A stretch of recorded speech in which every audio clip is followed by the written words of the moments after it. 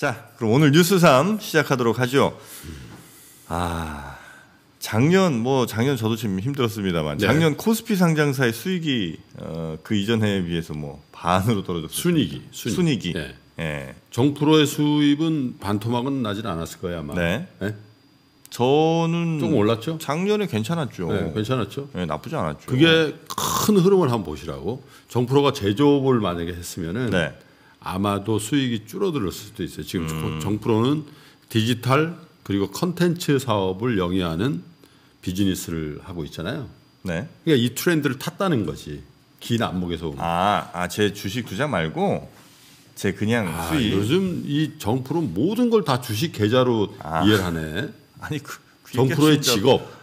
아, 정프로는 지금 굉장히 유명한 비즈니스 권역에 들어가 있단 말이에요. 아, 오늘 오늘 이제 전문가를 모시는데 네. 이분이 이제 인터넷 게임 업종 담당자를 모시거든요. 네. 어유 다른 분들은 지금 조선 뭐 철강 화학 이런 분 모시면 이렇게 하고 들어오세요. 이렇게. 아, 네, 어깨가 위축돼 가지고 근데 네. 이분 딱 모시는 거 딱 이러고 들어오시잖아. 그게 이제 업황하고도 관련이 있어요. 네? 내가 인터넷이다 이렇게. 그렇지. 네이버, 카카오, 뭐 NC 이런 거 잘 나가잖아요 요즘. 아, 자 그래서 어, 작년 실적이기 때문에 뭐 3개월이나 지난 얘기를 또 해야 되냐 그런데 어쨌든 공식적으로 발표가 됐기 때문에 한번 말씀을 드려드릴게요. 한국거래소하고 상장사 협의회가 작년에 코스피 기업들의 매출액을 봤더니 2,006조 4,500억 정도. 2006조. 네. 네. 2018년보다 0.47% 이게 뭐 거의 에, 장사한 매출은 거의 비슷하다고 보고요. 대신 영업이익이 무려 37.04%가 감소한 102조 원 정도가 됐어요. 왜 이렇게 줄었어요? 이뭐 아시잖아요. 반도체 같은 거 뭐 가격이 뭐 반토막되고 그런 거니까. 네. 뭐 반도체만 해도 전체 뭐 차지하는 비중이 엄청나니까. 그런 그거 외에도 뭐 저 마진이 그만큼 줄었다는 거죠. 네. 그러니까 순이익은 무려 52.82% 그러니까 반토막도 더 난 거죠.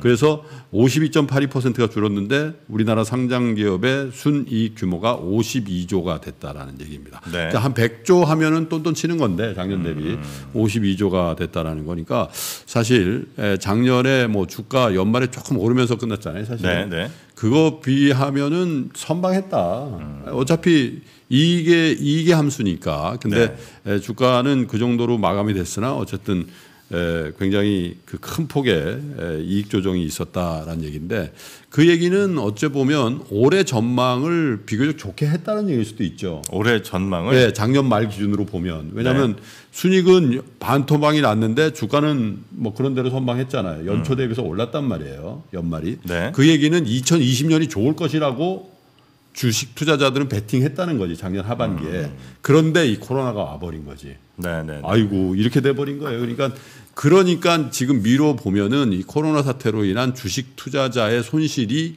훨씬 심하다. 왜? 보세요. 순익은 반토막이라 했는데 주가는 견조하게 버텼다. 그 얘기는 올해 전망이 좋게 한 거고 그러면 작년 연말 올해 초에 주식 투자 규모를 늘렸을 거라는 거죠. 개인도 기관도. 네. 그러고 나서 이 코로나를 맞아서 뭐 금융 위기니 경제 위기니 실물 위기니 이런 얘기를 하고 있는 차지기 때문에 굉장한 타격이 있다 이런 겁니다. 에, 삼성전자가 아, 순이익의 그 감소를 에, 이끌면서 전체 그 우리 상장사의 순이익 감소도 상당히 기여를 했어요. 2018년에 58조 영업이익이었거든요. 근데 작년에 27조, 그러니까 52%. 정확히 에, 우리나라 순이익 규모가 52% 줄었다 그랬잖아요. 근데 삼성은 영업이익 기준으로 52%니까 정확하게 우리나라 상장 기업의 순이익 준 만큼 영업이익이 줄었네. 이것도 참 특이하네, 그죠? 네. 그리고 SK 하이닉스가 아, 20조 8,400억에서 2조 7천 87%가 줄었어요. 음. 자, 이 차이는 뭡니까? 삼성전자는 사업 분야에 반도체, 에, 디스플레이, 에, 휴대폰, 가전 이렇게 포트폴리오가 되어 있는데 이 하락 그러니까 모바일 폰 같은 거는 모바일 폰 같은 거는 지켰단 말이에요. 네. 근데 하이닉스는 오로지 반도체 올인이니까 음. 반도체 업황이 개선되면 하이닉스가 훨씬 더 이익 신장이 되고 네. 반도체 업황이 나빠지면 하이닉스는 그냥 갖다 박는 음. 그런 사업 구조를 가지고 있단 말이에요.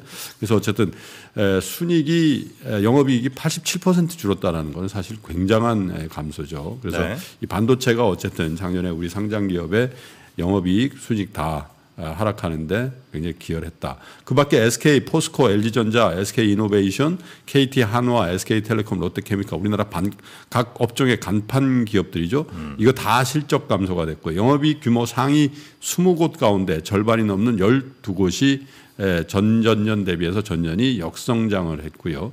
다만 이제 현대차, 현대모비스, 기아차, CJ, KTNG, 한국가스공사 LG생활건강 대림산업 이런 데는 영업이익이 개선이 됐는데 어, 네. 이것도 2018년도에 이 업체들이 워낙에 안 좋았어요. 현대차 같은 데들. 음. 그러니까 소폭 증가했지만 통계상의 기저 효과일 가능성이 굉장히 많고 네. 이 안에 이제 뭐 KTNG나 한국가스공사 같은 것들은 경기와는 좀 반대로 가는 업종이기 때문에 음. 여기에 들어가 있다 이렇게 봐야 될 것 같습니다. 그리고 업종별로 보면은요. 전기전자가 64% 감소로 가장 많았고 화학 60, 종이목재 55, 의료용품 55, 통신 55, 음식료 50, 서비스 46, 유통 32 이렇게 많이 줄었고요. 실적이 개선된 업종은 이 비중이 적, 크지 않은 섬유의복이 137% 이건 왜 늘었는지 잘 모르겠는데 한번 찾아봐야 되는 섬유의복이 섬유의복이 예, 137%로 건설이 77, 78% 운수장비 51 기계 운수장비가 자동차 얘기하는 네네. 겁니다. 기계가 7% 뭐 이렇게 늘었고요. 금융에서도요. 은행은 6.87%가 줄었고 보험은 42% 이상 줄었습니다. 왜 그럴까요? 저금리가 되다 보니까 이제 보험업의 이익 구조가 그만큼 훼손이 됐다. 반면에 증권회사는 영업이익이 20.64%가 오히려 늘었어요. 그래서 금융지주 안에 은행, 비은행 이렇게 있잖아요. 음. 은행이 있고 보험이 있고 증권이 있는데 은행은 조금 줄었고 보험 확 줄었고 그나마 증권이 좀 선방을 했다 이렇게 통계가 네. 나와 있습니다. 어쨌든 모두에 말씀드렸습니다만 작년에 우리 상장 기업의 실적은 굉장히 좋지 않게 나왔는데 올해 올해 기조 효과 또 반도체 업황의 개선 실물 경제 전 세계 경제에 어쨌든 작년보다 좀 나아지지 않겠냐 네. 미중 무역 협상 이런 음. 것들 타결이 되면서 그런데 전혀 예상 밖의 돌발 악재를 맞았기 때문에 이 주가가 지금 현재 1,500대, 네. 1,600대 뭐 이렇게 경험을 하고 있습니다만은 과연 여기서 V자형 반등이 가능할까라는 음. 어떤 에, 화제가 지금 이제 그 여의도의 가장 큰 화두가 되고 있는데 그 얘기도 오늘 국토부장하고 좀 얘기를 해보죠. 네. 작년에 이익 줄은 거 치고는 주식 시장이 괜찮았네. 주식 시장은 비교적 실물 네. 실물 경제를 뭐 요즘은 얘기를 많이 다르게 합니다만 한 6개월 정도 선행한다라고 아, 얘기하고요. 를 네. 네. 작년에 최악이었다면 올해는 좋아질 거다라는 음... 대부분 다 그렇게 전망을 했죠. 네, 네. 자, 이 첫 번째 뉴스는 작년 코스피 상장사의 순이익이 어, 반토막 났다는 소식 전해드렸고요. 두 번째 뉴스는 아, 현대자동차. 네. 아, 요즘 뭐 G80도 잘 계약은 우리나라에서 된다고 하는데 예.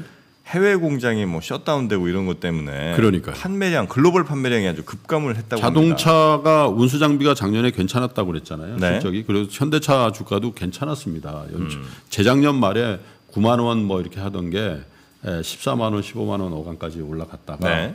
지금 다시 얼마 얼마인가요? 지금 뭐 한 8만 원, 7만 원, 음. 뭐그 정도 선인 것 같은데 어쨌든 현대차의 작년에 해외 판매량이 무려 아 작년에 3월에 해외 판매량이 무려 26.2%를 감소했다는데 저는 이 뉴스 보면서 그밖에 안 줄었나? 나는 그런 생각이 들거든요. 네. 26% 줄었는데 뭐 왜냐하면 3월이라는 게요.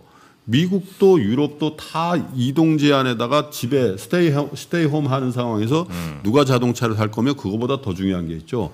해외 공장이 일을 안 해요. 지금 현재. 음. 예, 거의 대부분의 해외 현지 법인 공장들이 셧다운 상태이기 네. 때문에 3월에 26%는 아마 기계약된 거 뭐 이런 음. 것들이 반영된 거다. 저는 이제 그렇게 보이는데 자, 자동차 업계에 따르면 어제 이제 통계가 나왔는데요.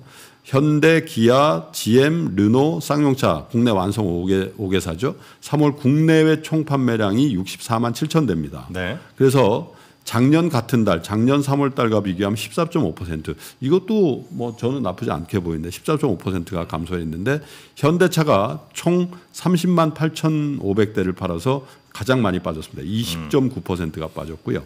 이것은 금융위기가 한참 위기였던 2009년도 1월에 월간 기준으로 26.7%준 이후로 11년 만에 가장 많이 준 거고 기아차가 6.4, 한국지염이 11.8, 쌍용 자동차는 아 쌍용 자동차가 더 줄었군요. 31.2 이렇게 돼 있고 르노 삼성은 XM3란 신차 효과 입어서 오히려 9.5% 네. 예, 성장을 했다고 합니다. 근데 문제는 음. 이 현대 자동차에 대한 뷰예요. 최근 들어서 이 급락 장세에서 에, 6만 원대까지 빠졌던 현대자동차 급격하게 올랐거든요. 네. 그 그때 이제 정의선 수석 부회장이 자사주 매입 음. 을 했- 하는 공시를 했고 아마 업계 관계자들이 얘기 들어보니까 실탄이 훨씬 더 많기 때문에 네.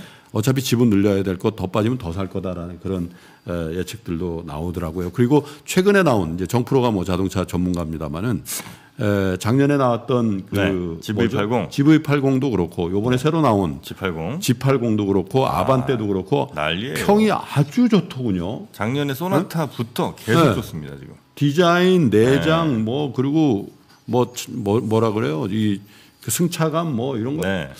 좋더라고. 맞습니다. 예. 그래서 오히려 그리고 어쨌든 거의 모든 유럽이나 미국의 공장들이 네. 자체적으로 셧다운 아니에요? 그렇죠. GM 셧다운, 뭐 르노 셧다운, 저기 어디요? 이탈리아 뭐 이런 뭐 이런 거는 다 셧다운이겠지. 음. 근데 우리는 울산에서 어떤 생산을 하고 있잖아. 네네.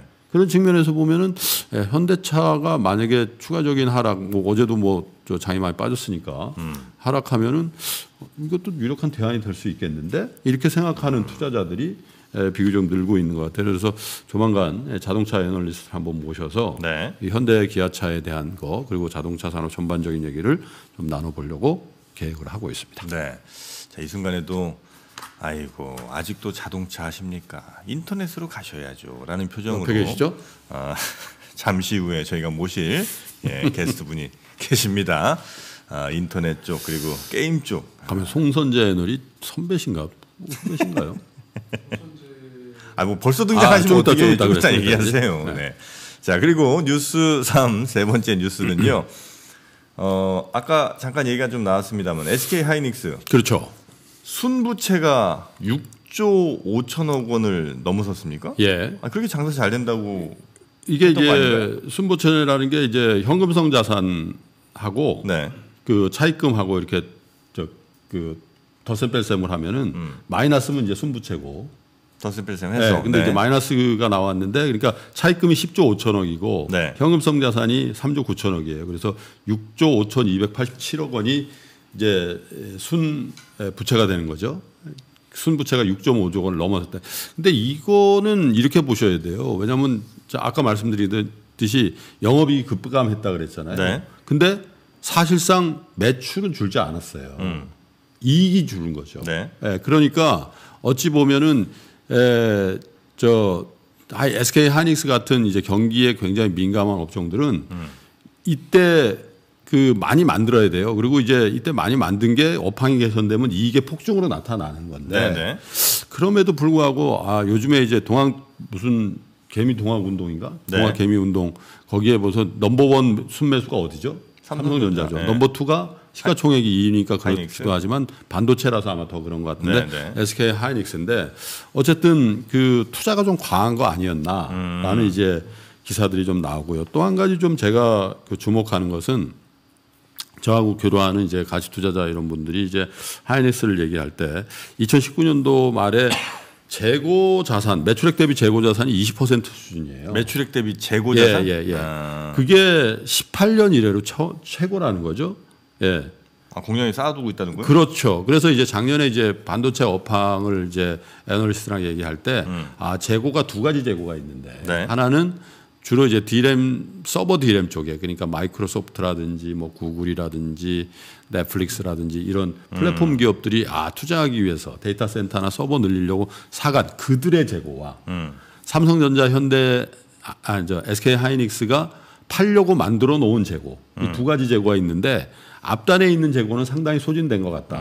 근데 후단에 있는 재고 그들 SK 하이닉스 이천 공장이나 에, 청주 공장에 쌓여져 있는 그 재고는 아직 안 줄었다는 얘기죠. 2009년도, 2019년도 말에 보니까 매출액 대비해서 재고 자산의 규모가 20%인데 이게 금융위기 때도 이만큼은 아니었거든요. 예. 18년 만에 최고치니까. 네. 물론 이것도 업황이 개선돼서 수요가 막 증가하게 되면 이 재고를 쫙 팔면서 이익이 급, 급격히 느는 가격도 올라가 가지고 이런 국면이 오면은 주가는 굉장히 탄력적으로 움직여요. 그러나 이 순부채가 5, 6.5조 넘었던 기사와 함께 예, 재고가 이렇게 많이 늘었다는 거는 아 비교적 생산 이제 가동률은 유지하는 상태에서 출하는 늘, 늘지 않았다. 그리고 가격이 많이 빠져 있다. 네. 그게 이제 아까 말씀드린 것처럼 87%나 영업이 감소하는 상황에서 에, 부채는 늘고 재고는 굉장히 많이 늘어 있다. 이런 상황에서 과연 에, 개인 투자자들의 하이, SK 하이닉스 사랑이라는 게 네. 과연 지금 이 순간 정당한 가격을 주고 사고 있는 건지에 대한 한번 연구는 필요한 시점이다. 아니 이런 근데 얘기 그 위기 상황도 아닌데 아니, 위기는 위기지만 이렇게 20%씩 된다는 거는 예. 뭐 경영진이 어, 판단을 좀 잘 못한 거예요? 아니면 아, 그렇기도 하고요. 예, 어차피. 어차피 이 네. 그 반도체 산업의 특성상 네. 갑자기 가동률을 줄일 수가 없어요. 예. 그러기도 하거니와 예, 기본적으로 굉장히 이 사이클에 움직이는 산업이기 때문에 네네. 이런 것들을 반복하는데 비교적 재고산이 많았다는 거와 음, 그냥 수요가 좀 줄었다는 거겠네요. 그럼. 예. 그리고 이제 수요가 줄었다기보다는 네. 에, 빗그로스가 줄지는 않잖아요. 네네. 마- 많이 배웠잖아요. 그 대신 에, 많이 늘 것으로 생각하고 직전 연도나 직전 2개 아, 정도에. 캐파를 늘린 예. 거죠. 예. 그리고 가동률은 줄이지 못하고 그런 상태가 된 거죠. 네. 자, SK 하이닉스의 어, 순부채 먹는 거 네. 아니죠? 예. 순부채가 지금 6.5조 원, 6조 5천억 원 예. 넘어섰다는 소식까지 저희가 뉴스 3에서 전해드렸고요. 이제 우리 게임 하러 가야죠. 예, 우리 여러분 어떤 게임들 하시는지 좀 광고 나간 동안 좀 채팅창에서 써주시면 되겠습니다. 자, 광고 잠시 듣고 오겠습니다.